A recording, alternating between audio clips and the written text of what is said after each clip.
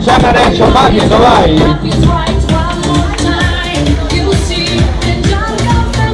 Dai, là fai!